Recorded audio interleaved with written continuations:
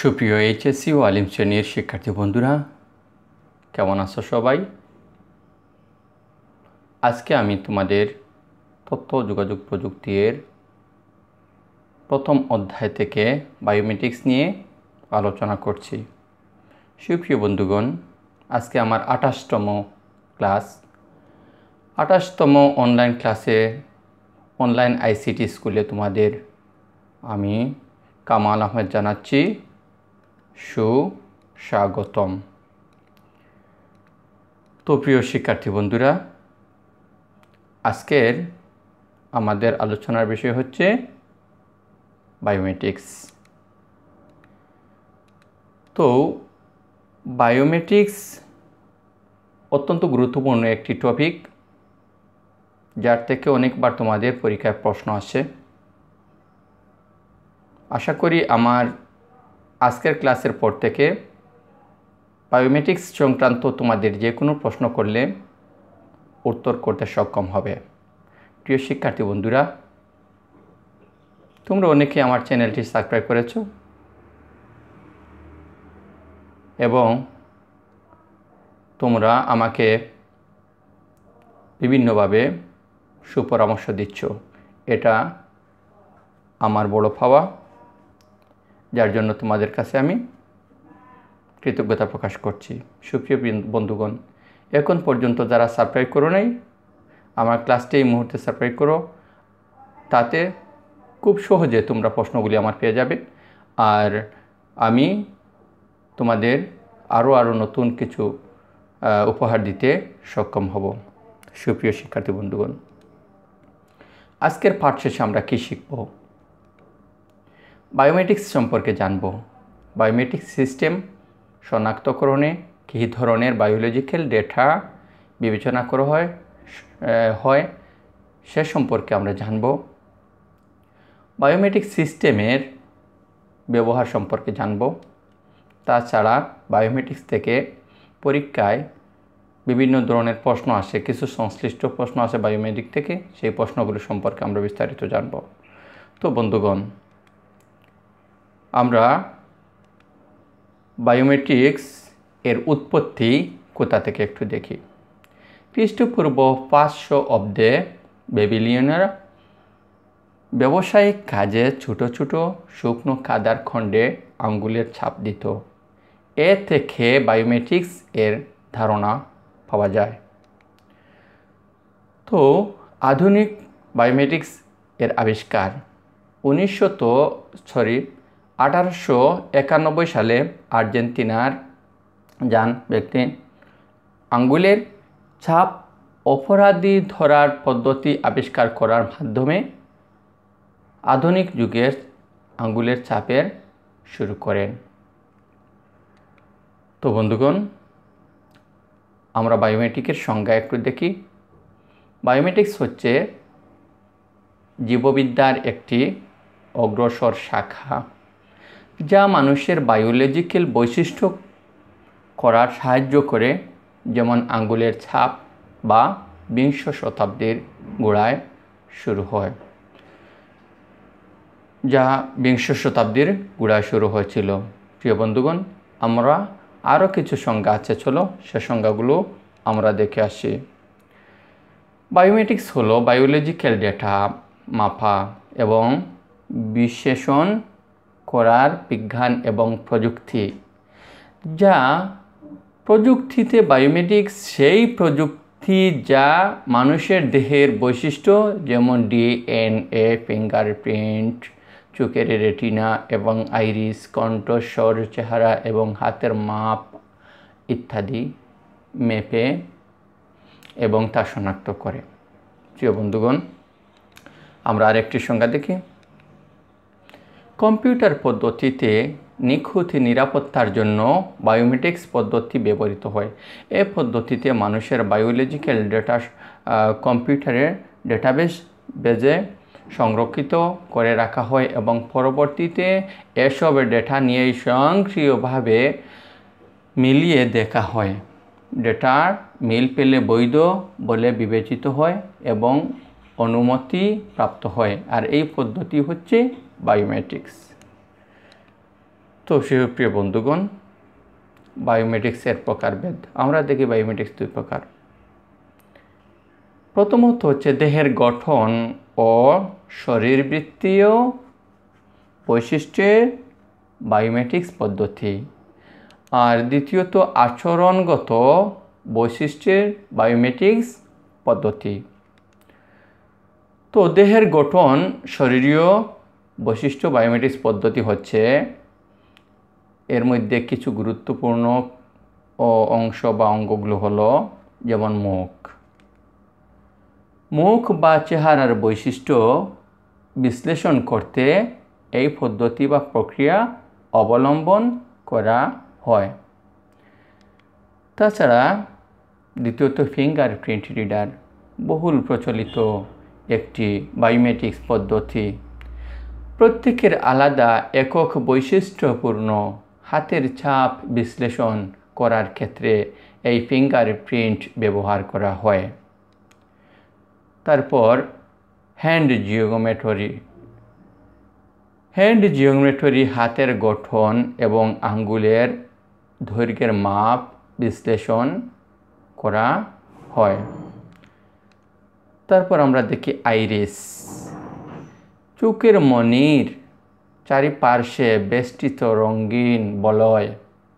বিশ্লেষণ করে, করার যে পদ্ধতি, সেই পদ্ধতি সেই পদ্ধতির বায়োমেট্রিক্সকেই আইরিস বলে। তারপর রেটিনা।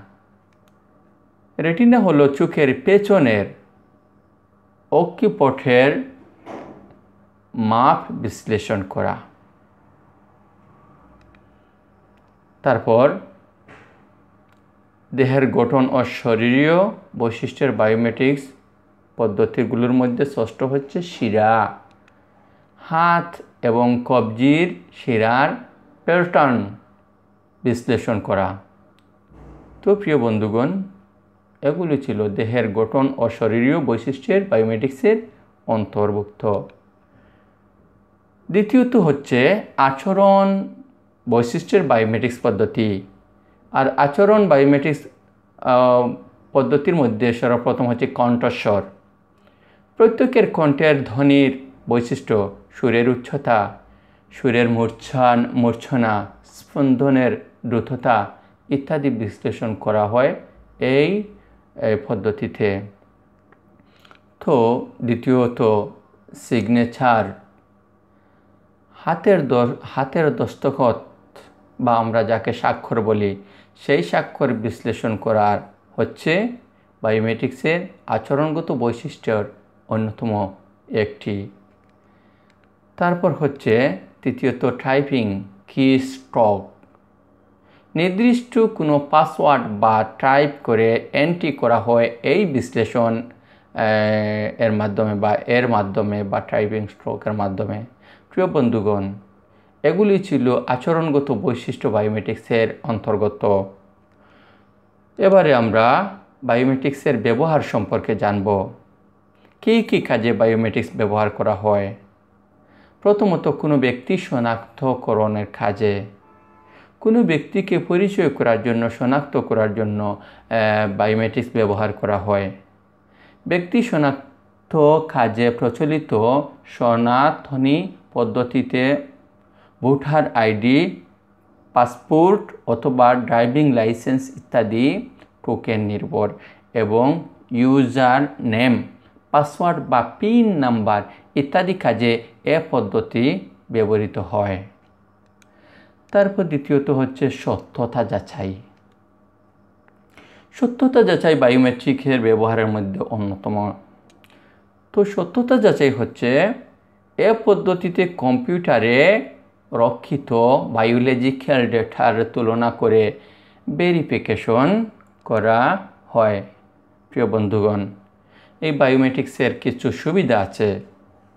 এই সুবিধাগুলো হচ্ছে, নিখুঁত নিরাপত্তা পাওয়া যায়, পক্ষপাতিত্ব থাকে না, প্রাথমিকভাবে খরচ বেশি হলেও সার্বিকভাবে খরচ কম হয়, সত্যতা যাচাইয়ের ক্ষেত্রে। এটা জাল বা নকল করা কঠিন এবং নিরাপত্তা নিশ্চিত হয়। এগুলি ছিল বায়োমেট্রিক্সের সুবিধা। তো প্রিয় বন্ধুগণ, বায়োমেট্রিক্সের কিছু অসুবিধা আছে আর সেই অসুবিধাগুলো হচ্ছে শারীরিক কোনো চিহ্ন পরিবর্তন হলে জটিলতার সৃষ্টি হয়। ইনসেড ইনস্টেলেশন খরচ বেশি হয়। এটি পরিচালনায় দক্ষ লোকের প্রয়োজন হয়।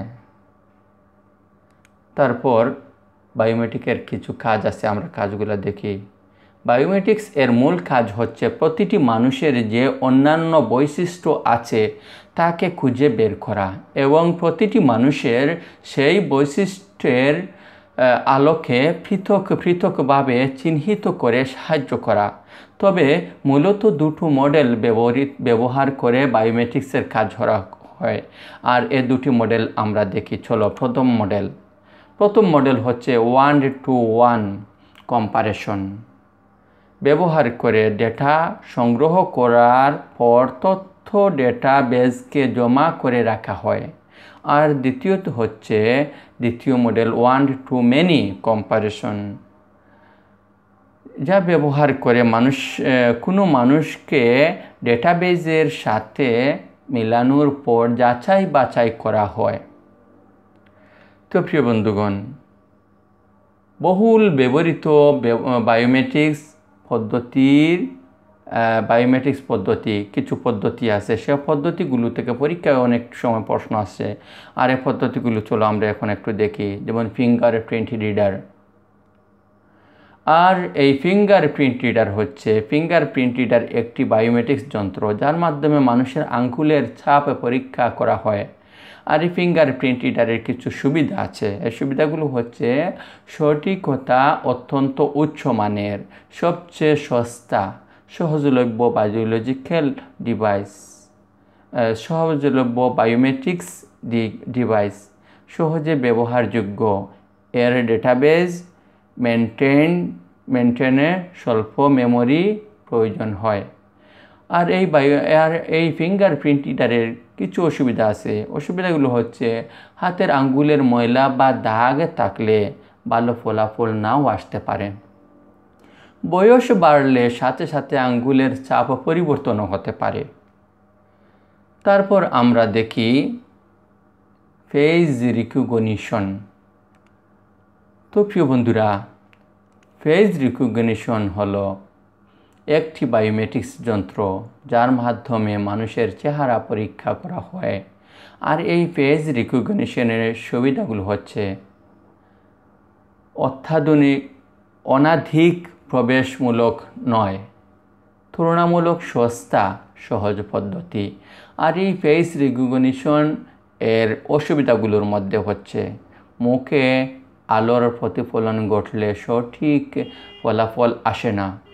বয়স বাড়লে মুখের আকৃতি পরিবর্তন হতে পারে।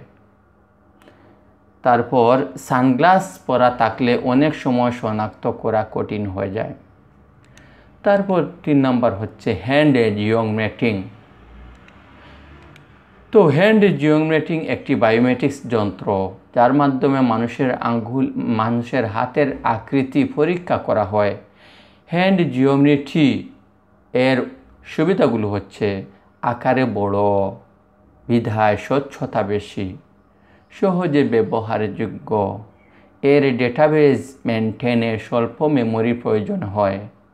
হ্যান্ড জিওমেট্রিং এর কিছু অসুবিধা আছে। সে অসুবিধাগুলোর মধ্যে হচ্ছে সহজে সাইজে কিছুটা বড়, আকারে বা দেখতে বা সাইজে কিছুটা বড়। বয়স বাড়লে সাথে সাথে হাতের চাপ পরিবর্তন হয়ে যায়। হাত আক্রান্ত হলে বা আক্রান্ত ব্যক্তির জন্য একটি কার্যকর নয়।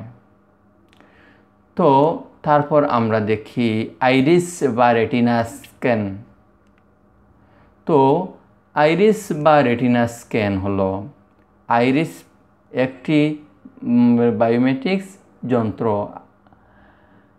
তো যার মাধ্যমে মানুষের চোখের ধারার রঙিন অংশকে পরীক্ষা করা হয়। আইরিস বা রেটিনা স্ক্যান এর সুবিধার মধ্যে হচ্ছে অত্যন্ত হাই অ্যাকিউরেসি পাওয়া সম্ভব।